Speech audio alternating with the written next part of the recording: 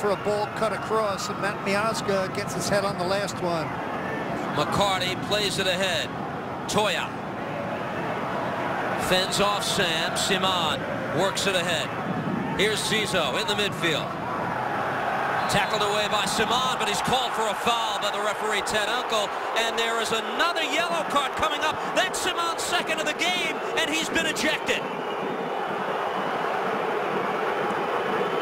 A double booking for Laurent Ciman, and the Red Bulls will go up.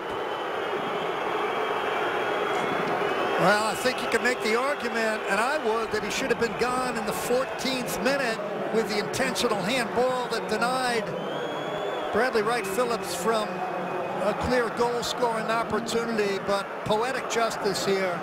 I think this one warrants the yellow card. He's already sitting on one, so see you later. A couple of things here.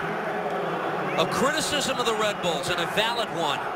They haven't played well this year when they're up a man.